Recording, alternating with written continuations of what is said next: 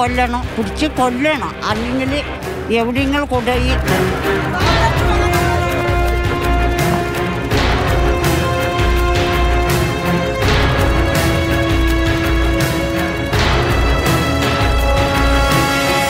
സർവസന്നാഹങ്ങളുമായാണ് വനം വകുപ്പ് ബേലൂർ മഗ്നയെ പിടികൂടാനുള്ള മൂന്നാം ദിവസത്തെ ദൗത്യം ആരംഭിച്ചത്. ഇരുന്നൂറംഗ സംഘമാണ് രാവിലെ വനത്തിലേക്ക് കയറിയത്. അയൽ ജില്ലകളിൽ നിന്നടക്കം ആർ ആർ ടി അംഗങ്ങളും മറ്റ് വനംവകുപ്പ് ജീവനക്കാരും ദൗത്യ സംഘത്തിനൊപ്പം ചേർന്നു.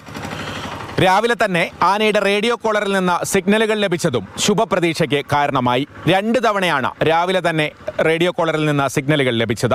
അതിന് പിന്നാലെ തന്നെ ട്രാക്കർമാർ ആനയെ നേരിട്ട് കണ്ടു. ഇതോടെ പ്രതീക്ഷകൾ വീണ്ടും ഉയർന്നു.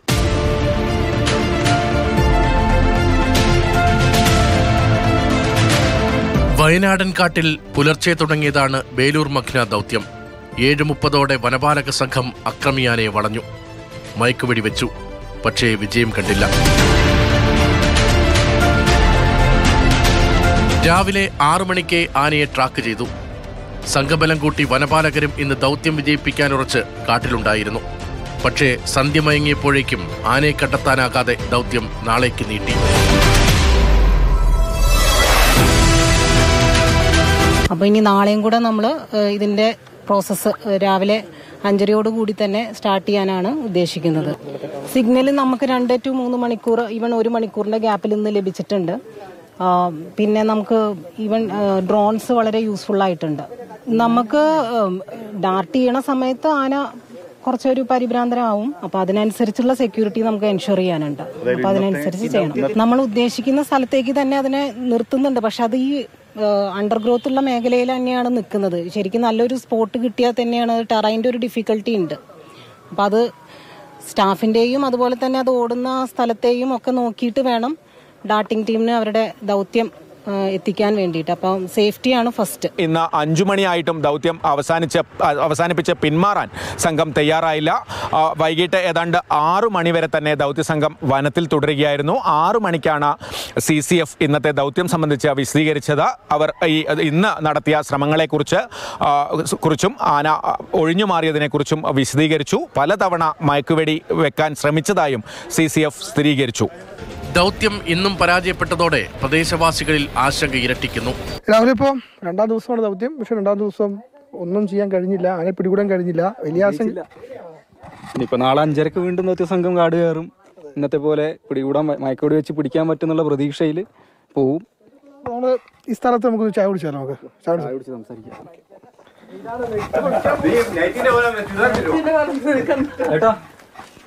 കുടിക്കാൻ എന്താ പിള്ളേ കുടിക്കാൻ ചായണ്ട് കച്ചവടം എങ്ങനെ? ചൂട് അടിപൊളിയല്ലേ? അല്ല ഇപ്പൊ ഈ ആനയൊക്കെ ഇറങ്ങുമ്പോഴേ നിങ്ങൾക്ക് ഈ രാത്രി കട തുറക്കുന്നതിന് പേടിയൊന്നും ഇല്ലേ രാത്രിയിൽ ആന നമ്മളൊരു എട്ട് എട്ടര ആകുമ്പോൾ ഇവിടുന്ന് പൂട്ടി പോകും. ഏ?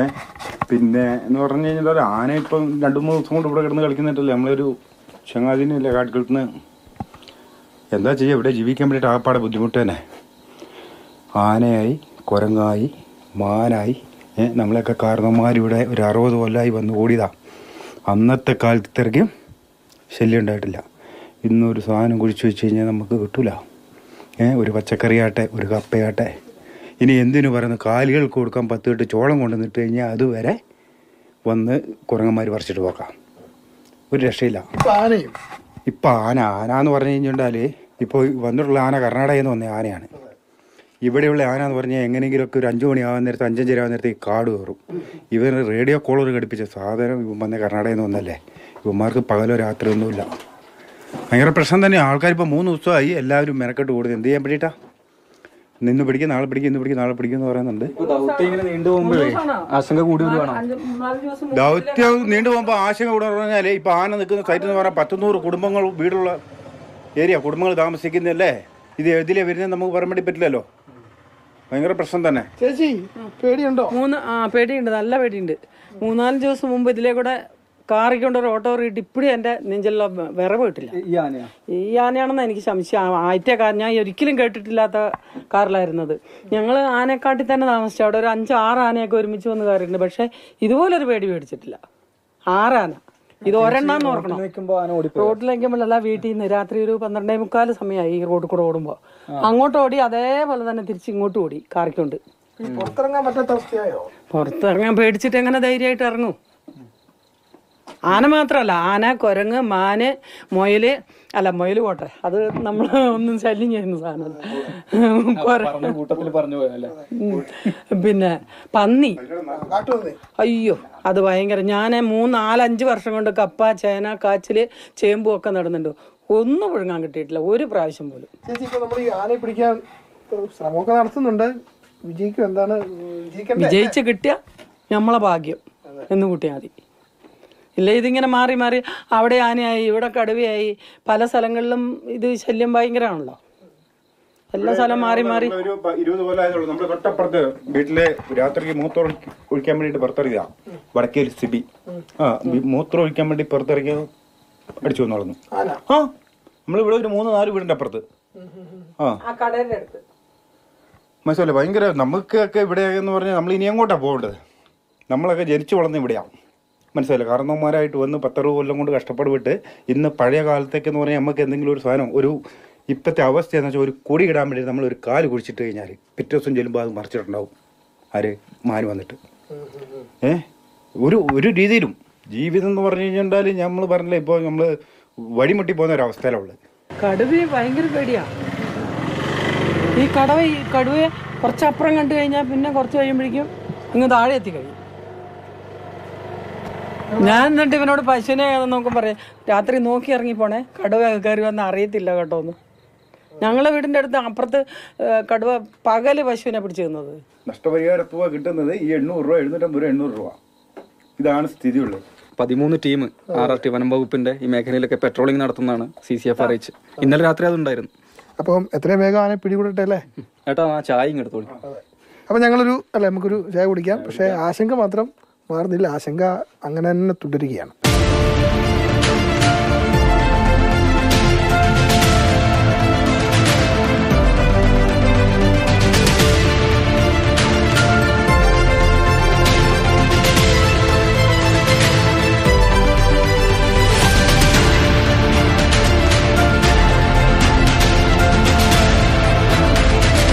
ഉദ്യോഗത്തിന്റെതായിരുന്നു ഇന്നത്തെ പകൽ.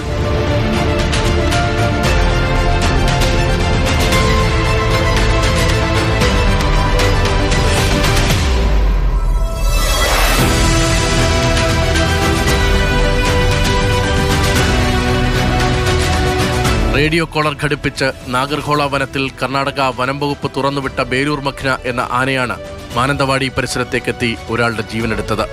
ആക്രമണത്തിന് ശേഷം കാട് കയറിയ ആനയ്ക്കായുള്ള തിരച്ചിൽ അതീവ സങ്കീർണമായിരുന്നു.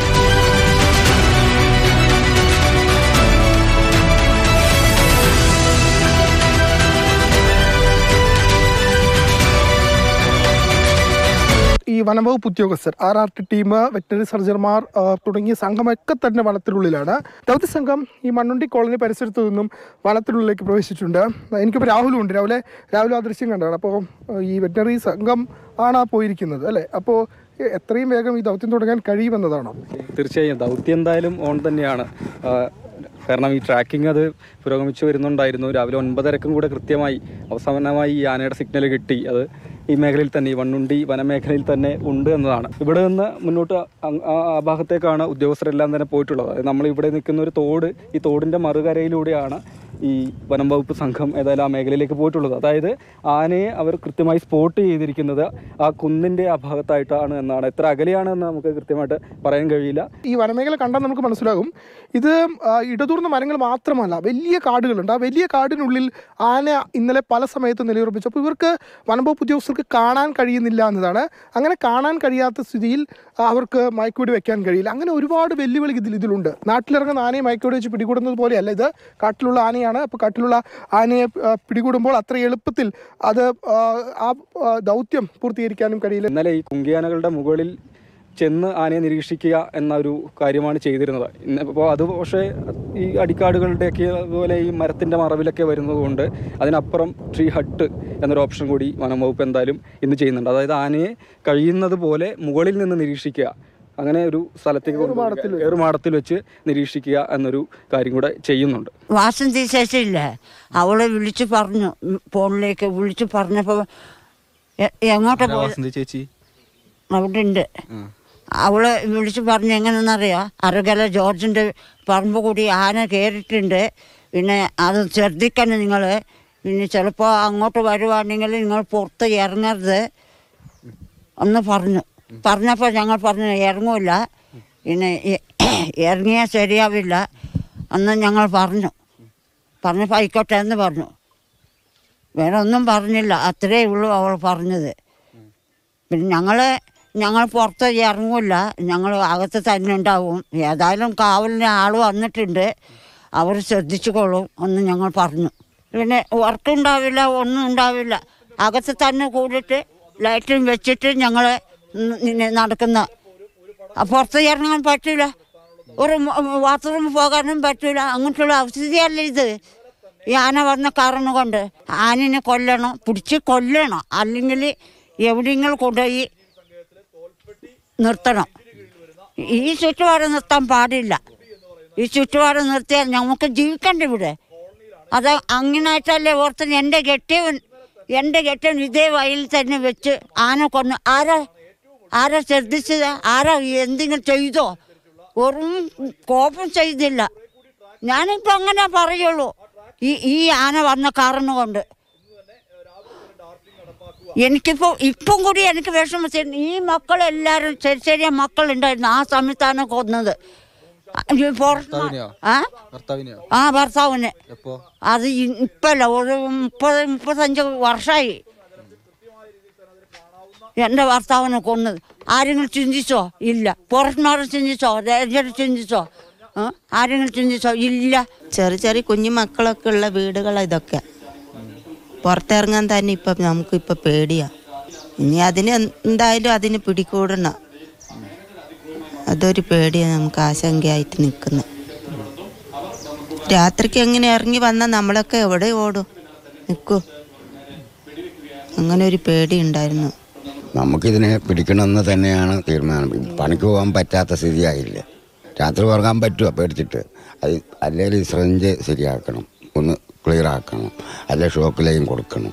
അതുമില്ലല്ലോ നമ്മളെ പണ്ട് നമ്മുടെ ഇവളുടെ അച്ഛനെ ഇവിടെ വെച്ച് ആന കൊന്നതല്ലേ? ഈ വയലിൽ വെച്ചിട്ട് കാട്ടാന. അത് ഒരു പത്ത് ഇരുപത് കൊല്ലമായി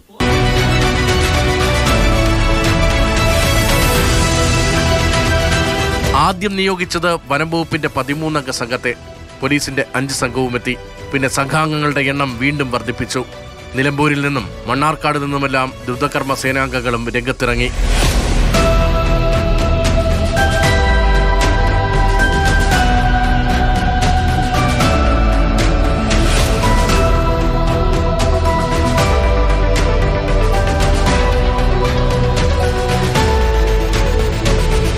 കുങ്കിയാനകളൊക്കെ എത്തി.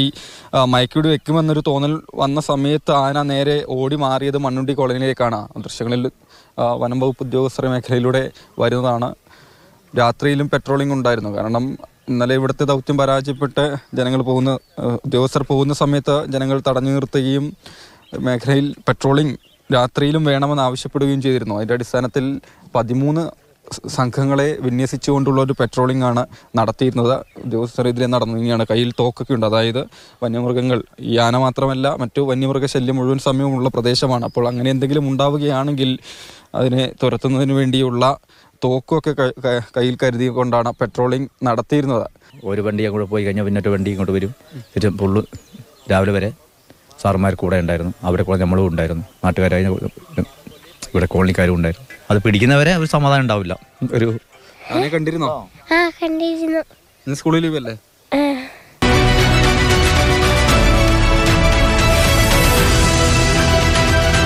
റേഡിയോ കോളറിൽ നിന്ന് ലഭിക്കുന്ന അരമണിക്കൂർ വ്യത്യാസത്തിലുള്ള സിഗ്നൽ പിന്തുടർന്നെത്തുമ്പോഴേക്കും ആന താവളം മാറ്റും.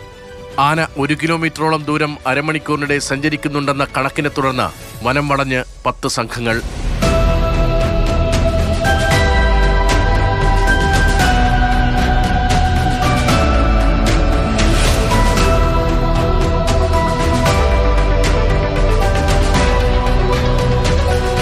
ആർ സംഘം വനംവകുപ്പ് ഉദ്യോഗസ്ഥർ അങ്ങനെ എല്ലാവരും തന്നെ വനത്തിനുള്ളിൽ പ്രവേശിപ്പിച്ചിട്ടുണ്ട്.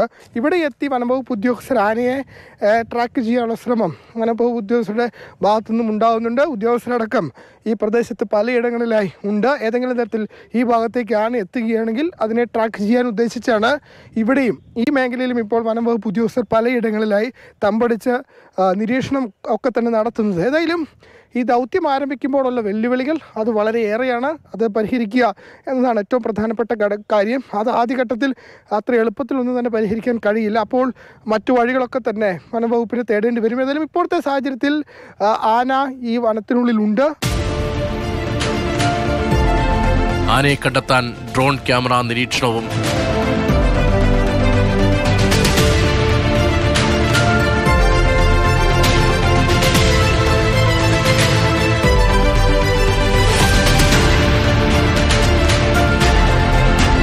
P M two P T seven Arikomban ദൗത്യങ്ങളെക്കാൾ വെല്ലുവിളി നേരിട്ടു വനം ഉദ്യോഗസ്ഥർ തണ്ണീർക്കൊമ്പനെ തൊട്ടടുത്ത് നിന്ന് നിരീക്ഷിക്കാൻ കഴിഞ്ഞ സാഹചര്യവും ഉണ്ടായിരുന്നില്ല ബാവലി വനമേഖലയിലെ ഓപ്പറേഷനിൽ. ഇതുവരെ അതിനെ ഒന്ന് നേരിട്ട് കാണാനോ അതിന്റെ മയക്കുവെടി വെക്കാനോ ഈ ഫോറസ്റ്റ് ജീവനക്കാർക്ക് കഴിഞ്ഞിട്ടില്ല. അതിൽ അവരുടെ ജീവനക്കാരുടെ ഇടയിൽ നിന്ന് ഒരു വീഴ്ച വന്നിട്ടുണ്ട് എന്നുള്ള അഭിപ്രായക്കാരനാണ് ഞാൻ. കാട്ടുമൃഗങ്ങൾ നിശ്ചലമാക്കുകയാണ് വയനാടിനെ. സാധാരണമെന്ന് തോന്നും ആദ്യം പിന്നെ സ്ഥിതിയുടെ ഗൗരവം വർദ്ധിക്കും.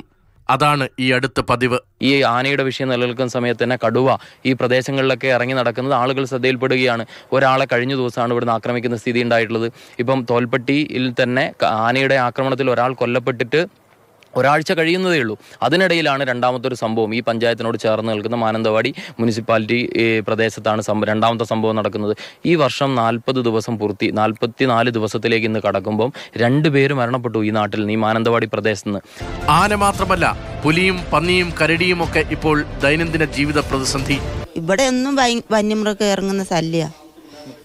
ഇത് തന്നെയല്ല. ഇതിനു മുമ്പും ഉണ്ട്. രണ്ടല്ല ഇടയ്ക്കിടയ്ക്ക് വരും. ഞാൻ പുറത്തുനിന്ന് ഇറങ്ങും. ഈ ആന തന്നെ അല്ല. വേറെ ആനകളും വരുന്നുണ്ട്. ഈ വയലിലൊക്കെ വരുന്നില്ല? മാനന്തവാടിയിൽ തണ്ണീർക്കൊമ്പനിറങ്ങിയിട്ട് അധികം കഴിഞ്ഞിട്ടില്ല. തൊട്ടടുത്ത് തിരുനെല്ലിയെ ജീവഭയത്തിലാഴ്ത്തി ബേലൂർ മഖ്ന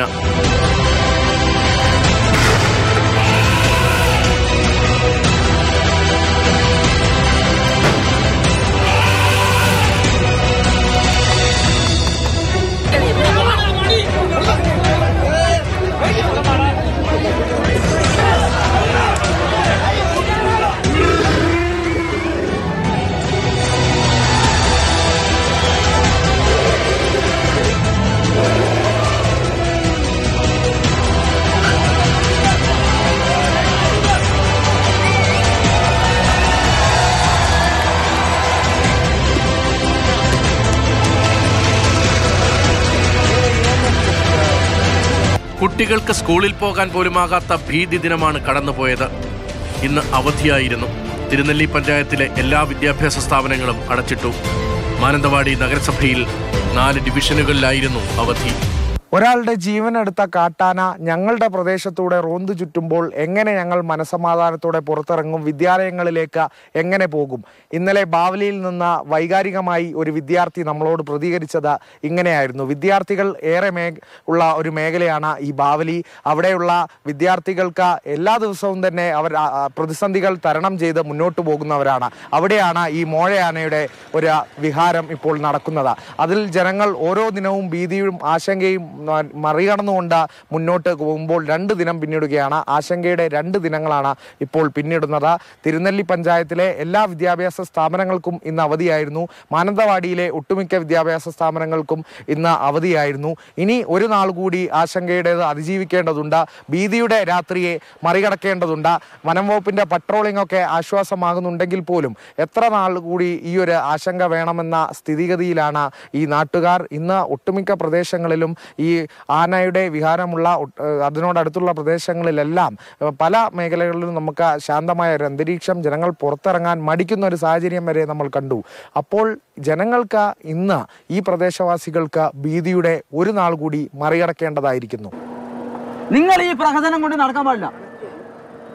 സാറ് പണ്ട് പോയാൽ മതി അല്ലെ നമ്മൾ നാട്ടുകാരുമ്പോ പതിവ് പ്രതിഷേധങ്ങൾക്ക് പിന്നാലെ മയക്കുവെടിവെക്കാൻ ഉത്തരവെത്തുമ്പോഴേക്കും ആ മോഴക്കാട് കാട് കയറിയിരുന്നു.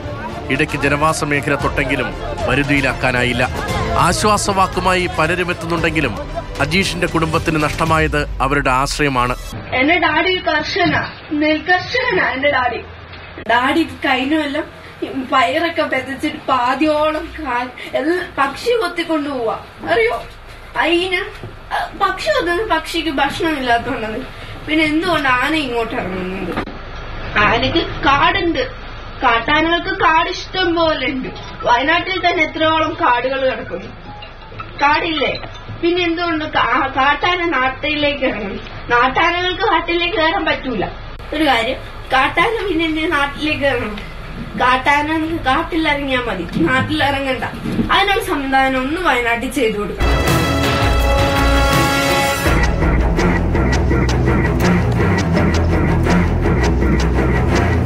വനം വകുപ്പിനെതിരെ ഉയരുന്നത് വൻ പ്രതിഷേധമാണ്.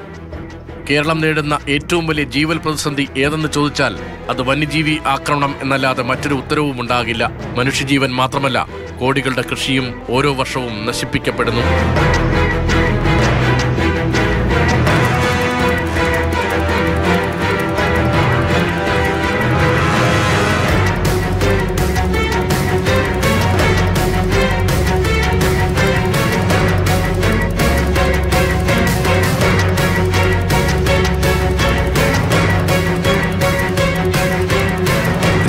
ദിവസത്തിൽ നിന്ന് വ്യത്യസ്തമായി. സന്ധ്യ മയങ്ങുന്നതുവരെ മൂന്നാം ദിവസത്തെ ദൗത്യം തുടർന്നു. നേരം അഞ്ചു മണിയായപ്പോഴും ശുഭപ്രതീക്ഷ തന്നെയാണ് ദൗത്യ ദൗത്യസംഘം പങ്കുവച്ചത്. ഇരുട്ട് വീഴുന്നതിന് മുൻപ് എങ്ങനെയെങ്കിലും ആനയെ മയക്കുവെടി വെക്കാനായിരുന്നു ശ്രമം. പക്ഷേ വിജയിച്ചില്ല. ആറു മണിയോടെ സി സി എഫ് ഇന്നത്തെ ദൗത്യവുമായി ബന്ധപ്പെട്ട കാര്യങ്ങൾ മാധ്യമങ്ങളുമായും നാട്ടുകാരുമായും പങ്കുവച്ചു.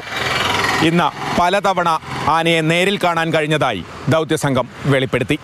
എന്നാൽ മയക്കുവെടി വെക്കാനുള്ള ശ്രമങ്ങൾ വിജയിച്ചില്ല. പലതവണ അവർ മയക്കുവെടി വെക്കാൻ ശ്രമിക്കുകയും ചെയ്തു. എന്നാൽ അടിക്കാടുകളും ആനയുടെ സഞ്ചാരവും ദൗത്യസംഘത്തിന് പലതവണ വെല്ലുവിളിയായി. എന്തായാലും നാളെയും ദൗത്യം തുടരാൻ തന്നെയാണ് തീരുമാനം. ഇതേ രീതിയിൽ തന്നെ ഇരുന്നൂറംഗ സംഘം ദൗത്യത്തിനായി കാട് കയറും ഇന്ന് രാത്രി പ്രദേശത്ത് പട്രോളിങ്ങും തുടരും.